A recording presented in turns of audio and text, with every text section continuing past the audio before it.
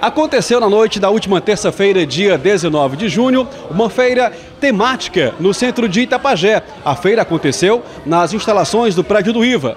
Nós iremos conversar com a professora Ana Maria, que é a professora que está à frente da disciplina que realiza esta feira, que tem o tema Um Olhar sobre a Princesa Serrana Itapajé. Boa noite a todos, né? Uma alegria, um prazer estar aqui em Itapajé, né?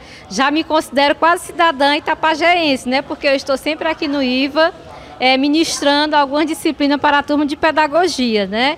Então nós estamos com a disciplina é, cultura local e educação. Então a gente pensou, juntamente eu, enquanto professora, com os nossos alunos, de promover esse momento no intuito, né, com o objetivo de fazer um resgate da cultura local, né? Porque nós sabemos que Itapajé tem uma cultura riquíssima, uma cultura belíssima e eu acredito que é na faculdade, é na universidade, é com os acadêmicos que nós podemos e devemos estar fazendo esse resgate cultural. Um resgate das nossas raízes. Professor Sidney Félix, articulador local do IVA em Itapajé. Professor, a importância desta feira para o crescimento dos alunos e também para a divulgação das nossas coisas boas que existem em Itapajé. Boa noite, Mike. Boa noite, ouvintes da Rádio Atitude.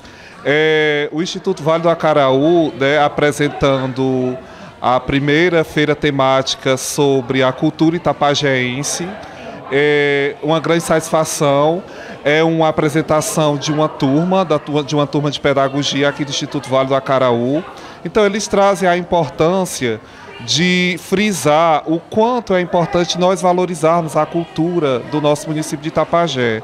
E nesse momento é mais importante ainda pelo fato de que, com tantas mazelas que acontecem aqui no nosso município, a, o Instituto Vale do Acaraú vem trazer o que o nosso município tem de bom, né? mostrar a riqueza, a importância, valorizar a nossa cultura, valorizar a nossa tradição, principalmente nessa época junina, né, que o Itapajé, sendo do Nordeste, sendo do Ceará, não, não fica de fora desse momento festivo que é que está presente aqui no nosso estado e através dessa disciplina, né, que a professora propôs-se a desenvolver esse trabalho com os alunos, vem apresentar essa riqueza maravilhosa de comida, de dança, de artesanato que o nosso Itapajé tem e que ele precisa ser visto com bons olhos. Isso é até um pedido que eu faço às autoridades aqui é, do Itapajé, né, que, que revejam e que